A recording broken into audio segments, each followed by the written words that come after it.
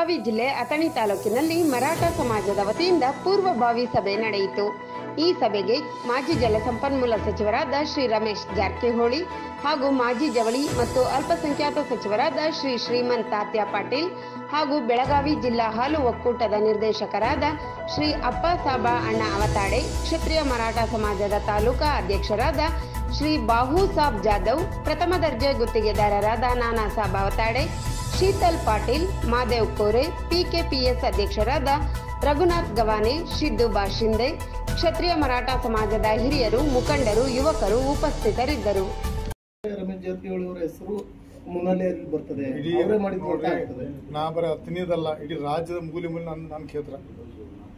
ನಾನು ಇರೋ ಸಚಿವದಾಗ ಬರೀ ಹತ್ತನೇ ಮತ್ತು ಮಾಡ್ಕೋ ಗೋಕಾಕ್ ಮಾಡಿ ಇಡೀ ರಾಜ್ಯದ ಮೂಲೆ ಮೂಲೆಗೆ ನಾ ಎಲ್ಲ ಭೇಟಿ ಕೊಟ್ಟು ಎಲ್ಲ ಚಾಲನೆ ಕೊಟ್ಟಿದ್ದೆ. ದಿಲ್ಲಿಯಲ್ಲಿ ಕಳೆದ ಮೂವತ್ತು ವರ್ಷದಿಂದ ಬಿದ್ದಂಥ ಫೈಲ್ ಎಲ್ಲ ಓಪನ್ ಆಗಿತ್ತು. ಅದು ಮಾಡೋಣ ಇನ್ನೊಂದು ಹತ್ತಾರ ನಂತರ ಉತ್ತರ ಆಯ್ತು ಟೆನ್ ಈ ಯೋಜನೆ ಪೂರ್ಣ ಆದ್ರೆ ಶ್ರೀಮಂತ್ ಪಾಟೀಲ್ ಅವರಿಗೆ ಎಲ್ಲಾದ್ರೂ ಅನುಕೂಲ ಆಗ್ತೈತೆ ಅನ್ನೋ ಉದ್ದೇಶದಿಂದ ಹಿನ್ನಡೆ ಆಗೋ ಸಲುವಾಗಿ ಇದನ್ನು ನಾವಿಬ್ಬರು ಶ್ರೀಮಂತ ಪಾಟೀಲ್ ರಮೇಶ್ ಅವರಿಗೆ ದೈವ ಭಕ್ತರು. ನಮ್ಮಲ್ಲಿ ನಮ್ಮ ಮೇಲೆ ದೇವರು ಜನರ ಆಶೀರ್ವಾದ ನಾವು ಸಕ್ಸಸ್ ಆಗ್ತೇವೆ. ಸರ್ ಈ ಬಾರಿ ಸಂಪುಟ ಪುನರ್ರಚನೆಯಲ್ಲಿ ಮಹೇಶ್ ಕುಮಟಳ್ಳಿ ಅವರಿಗೆ ಏನಾದರೂ ಸೂಚಿಸ್ತಾರೆ? ಮೊದಲನೇದಾಗಿ ಮಹೇಶ್ ಕುಮಟಳ್ಳಿ ಆಕಾಂಕ್ಷಿ ಅಲ್ಲ ಭಾಳ ಸಲ ಹೇಳಿದ್ದಾರೆ ಅವರು ಅವ್ರದ್ದು ನಮ್ಮ ಮಂತ್ರಿ ಬೇಡ ನನ್ನ ಕ್ಷೇತ್ರ ನೀರಾವರಿ ಮಾಡಿಕೊಡೋದು ಅಂತ ಹೇಳಿದ್ರು ನಿನ್ನೆ ನನಗೆ ಹೇಳಿದ್ದಾರೆ ನಾನು ಮಂತ್ರಿನ ಆಕಾಂಕ್ಷೆ ಇಲ್ಲ ನನ್ನ ಕ್ಷೇತ್ರದಲ್ಲಿ ನೆನಪು ಬಂದಂಥ ನೀರಾವರಿ ಮತ್ತು ಆ ಕೊಟ್ಲಿ ಭಾಗ ನೀರಾವರಿ ಮಂತ್ರಿ ಆದರೆ ನನ್ನ ಮಂತ್ರಿಗಿಂತ ಜಾಸ್ತಿ ಅಂತ ಹೇಳಿದ್ದಾರೆ. ಶ್ರೀಮಂತ್ ಪಾಟೀಲ್ ಅವರು ನೋಡಿ ಅವರು ನಾವು ಈಗ ನಾವು ಹೇಳಿದ್ರಲ್ಲ ನಾವು ಹೇಳಕ್ಕೆ ಬರೋಲ್ಲ. ಪಕ್ಷ ನಿರ್ಣಯಕ್ಕೆ ನಾವು ಬದ್ದೆ ಸರ್ ರಾಜ್ಯದಲ್ಲಿ ಮರಾಠ ಶಾಸಕರ ಸಂಖ್ಯೆ ಕಡಿಮೆ ಇದೆ. ಅಂಥದ್ರಲ್ಲಿ ಶ್ರೀಮಂತ್ ಪಾಟೀಲ್ಗೆ ಕೊಟ್ಟಿದ್ದಂಥ ಒಂದು ಸಚಿವ ಸ್ಥಾನವನ್ನು ಹಿಂದಕ್ಕೆ ತರಬೇಕು ಅದು ಅದು ನಾನು ನಮ್ಮ ಪಕ್ಷ ವೇದಿಕೆಯಲ್ಲಿ ಮಾತಾಡಿದ್ದೇನೆ ನಾನು. ಇಲ್ಲಿ ಬಹಿರಂಗ ಮಾತಾಡೋದಲ್ಲ ಪಕ್ಷ ವೇದಿಕೆಯಲ್ಲಿ ಮಾತಾಡಿದ್ದೇನೆ. ಅತಿ ಶೀಘ್ರದಲ್ಲಿ ಒಳ್ಳೆ ಸುದ್ದಿ ಬರ್ತದೆ. ಸರ್ ಒಂದೇ ನಿಮಿಷ. ಅನ್ಕೊಳ್ಳಿ. ಬೆಳಗಾವಿಗಳ ಒಂದು ಮರಾಠ ಸಮಾವೇಶ ಒಂದು ಕಾರ್ಯಕ್ರಮವನ್ನು ಇವತ್ತು ನಮ್ಮ ಹಿರಿಯರು ಶ್ರೀಮಂತನ ಪಾಟೀಲ್ ಅವರು ಮತ್ತು ಎಲ್ಲರೂ ಕೂಡಿ ನಮ್ಮ ಗಣೇಶನ ಜಾರಕಿಹೊಳಿ ಅವರು ಒಂದು ಸುಮಾರುವಾಗಿ ಒಂದು ಲಕ್ಷ, ಎರಡು ಲಕ್ಷ ಜನ ಸೇರಿಸಿ ಒಂದು ದೊಡ್ಡ ಪ್ರಮಾಣದೊಳಗ ಮರಾಠ ಸಮಾಜದ ಒಂದು ಸಮಾವೇಶ ಮಾಡೋಣ ಅಂತೇಳಿ ಒಂದು ಕಾರ್ಯಕ್ರಮನ ಯಾಕಂದ್ರೆ ಪೂರ್ವಭಾವಿ ಸಭೆ ಅಷ್ಟ ಒಂದು ನೂರು ಜನ ಸೇರಿ ಒಂದು ಪೂರ್ವಭಾವಿ ಮೀಟಿಂಗ್ ಮಾಡಿ ಅದರ ರೂಪರೇಷೆ ಹೆಂಗ್ ಮಾಡ್ಬೇಕಂತ ಹೇಳಿ ಒಂದು ವಿಚಾರ ಇಟ್ಕೊಂಡ ಇವತ್ತು ಈ ಎಲ್ಲ ನಮ್ಮ ಬೆಳೆ ಒಬ್ಬೊಬ್ಬರಿಗೆ ಒಂದು ಸಮಾಜದ ಮುಖಂಡರಿಗೆ ಈ ಒಂದು ಸಭೆ ಆಯೋಜನೆ ಮಾಡಿತ್ತು ಇಷ್ಟ ಈ ಸಭೆ ಸಲುವಾಗಿ ಇವತ್ತು ತಾವು ಹದಿನೈದನೇ ತಾರೀಕು ದಿವಸ, ಸುಮಾರವಾಗಿ ಹದಿನೈದು ತಲುಪದಿಂದ ಒಂದು ಹತ್ತು ಸಾವಿರ, ಅಂದ್ರೆ ಕಾಗವಾಡ ಮತ್ತು ಅತನಿ ಒಂದು ಹತ್ತು ಸಾವಿರ ಮಿನಿಮಮ್ ನಾವೆಲ್ಲ ನಮ್ಮ ಸಮಾಜದ ಮುಖಂಡರು ಮತ್ತು ಬೇರೆ ಸಮಾಜದ ಮುಖಂಡರು ಸ್ವಾಗತರಾಗ ಭಾಗಿಯಾಗಬೇಕು.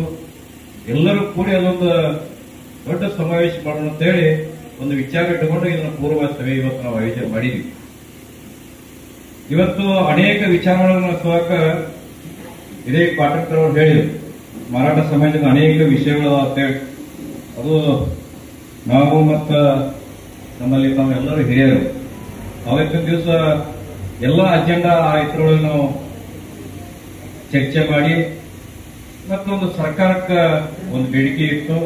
ಅನೇಕ ನಮ್ಮ ಸವಾಲುಗಳು, ಅನೇಕ ನಮ್ಮ ವಿಷಯಗಳು, ಅನೇಕ ಅಜೆಂಡಾದೊಳಗೆ ನನ್ನ ಬಹುಶಃ ಮರಾಠ ಸಮಾಜ ಸುಮಾರುವಾಗಿ ಒಂದು ಐವತ್ತು, ಅರವತ್ತು ಲಕ್ಷ ಇವತ್ತು ನಾವು ಕರ್ನಾಟಕದೊಳಗ ಮರಾಠ ಸಮಾಜ ವೋಟರ್ಸ್ ಇವತ್ತು ನಮ್ಮಲ್ಲಿ ಯಾವ ನಡುವೆ ಅನಿಸೋ ಮಟ್ಟಿಗೆ ಬಹುಶಃ ಒಬ್ಬರು ಇವತ್ತು ಇಷ್ಟೊಂದು ನಾವು ಜನಸಂಖ್ಯೆ ಇದ್ರು ಸಾಕ ಒಬ್ಬರು ನಮ್ಮಲ್ಲಿ ಸಚಿವ ನಾ ಮಾಡ್ಲಕ್ಕ ಇವತ್ತು ಸರ್ಕಾರ ನೋಡ್ರಿ ಯಾವುದೋ ಸರ್ಕಾರ ಸಾಕ ಅದ್ರ ಅವ್ರನ್ನ ನಮ್ಮ ಸಮಾಜ ಕಡೆಗಣಿಸ್ತದೆ ಆ ಕಡೆಗಣಿಸಬಾರ್ದು. ಅನೇಕ ಎಲ್ಲ ವಿಚಾರಗಳು ಇಟ್ಕೊಂಡ ನಾವು ಅವತ್ತ ಟೂ ಎ ಇರ್ಬೋದು, ಇವತ್ತು ನಿಗಮದೊಳಗ ಅನೇಕ ಇವತ್ತು ಹೇಳಿದ್ರು. ನಾವು ಬರೀ ನಿಗಮ ಅಷ್ಟ ಮಾಡಿ, ನಿಗಮ ಅಧ್ಯಕ್ಷ ಮಾಡಿ ಅದಕ್ಕೆಲ್ಲ ಪೂರ್ಣ ಪ್ರಮಾಣದ ನಾವು ಕಮಿಟಿ ಆ ಒಂದು ಪೂರ್ಣ ಪ್ರಮಾಣದ ಅದು ಒಂದು ಬೇಡಿಕೆ. ಅನೇಕ ಒಂದು ಏಳು ಹತ್ತು ಬೇಡಿಕೆ ಎಲ್ಲ ಬೇಡಿಕೆ ವಿಚಾರ ಇಟ್ಕೊಂಡ ಒಂದು ದೊಡ್ಡ ಪ್ರಮಾಣ ಒಂದು ಕಾರ್ಯಕ್ರಮ ಮಾಡ್ಕೊಂಡು ದೇಶದ ಒಂದು ಸಮಾವೇಶ ರೂಪರೇಷೆ ಮಾಡೋಣ ಅಂತ ಹೇಳಿ ಇವತ್ತು ಹಿರಿಯರ ಸಮ್ಮುಖದೊಳಗೆ ಯಾಕಂದ್ರೆ ಈ ಒಂದು ವಿಚಾರ ಇಟ್ಕೊಂಡ ಇವತ್ತು ಈ ಒಂದು ಸಭೆ ನಾವು ಆಯೋಜನೆ ಮಾಡಿದ್ದೀವಿ राजकारण रहित आहे आणि कुठल्याही समाजाच्या विरोधात नाही तो आमचा मराठा समाज कर्नाटकामध्ये फार मोठ्या प्रमाणात आमचा समाज इथं राहतोय.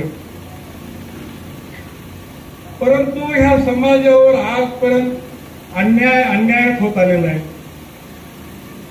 आम्ही सगळ्या क्षेत्रात आर्थिकदृष्ट्या आम्ही अति दुर्बल झालो. शिक्षणामध्ये आम्हाला कुठं गतीच नाही. राजकारणात आम्हाला वाचायला सुद्धा आमची लोक कुठे कुठे नाही सामाजिक जी संस्था म्हणतो त्याच्यामध्ये सुद्धा आम्ही अगदी दोन स्थानावर आहोत. संपूर्ण सगळीकडे आम्ही दुर्लक्षित आहोत. आणि आम्ही असंच जर बसलो तर पुढच्या पिढ्या पिढ्याला सुद्धा हेच कष्ट भोगावं लागणार.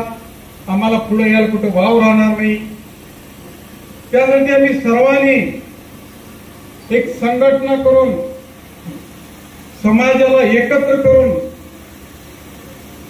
जर आम्ही त्याच्यासाठी जर लढा दिला आजच्या जगामध्ये असं मागून काही सुद्धा मिळत नाही आम्ही पुढे जाऊ शकत नाही आमच्या ज्या न्याय मागण्या आहेत त्या न्याय मागण्या आम्ही भिक्षा मागून मिळवायच्या नाही ಮಾಡ್ತಾರೆ ಮರಾಠ ಸಮಾಜ ಸಮಾಜ ಅಂತ ಬಣ್ಣದಾರಿ ಕೊಡ್ತಾರೆ ಅದಕ್ಕೆ ದಯವಿಟ್ಟು ಕರ್ನಾಟಕ ಹುಟ್ಟಿದಂತ ಮರಾಠಕರು ಕರ್ನಾಟಕದಂತ ಮೊದಲು ನಾವು ನಮ್ಮ ಸಿದ್ಧ ಮಾಡಬೇಕು ಆಮೇಲೆ ರಾಜ್ಯದ ಈಗ ಶ್ರೀಮಂತ ಅವ್ರು ಹೇಳು ಮರಾಠ ಸಮಾಜ ನಿಗಮಕ್ಕೆ ಐವತ್ತು ಕೋಟಿ ಅಂತ ಹೇಳಿದ್ರೆ ನಾವು ಆದಷ್ಟು ಬೇಗ ಹೋಗಿ ನನ್ನೆಲ್ಲ ಕೊಟ್ಕೊಂಡು ಹೋಗಿ ಒಂದು ಎರಡ್ನೂರು ಕೋಟಿ ಇಡ್ರಿ ಅಂತ ಒಂದು ಮನವಿ ಮಾಡೋದು.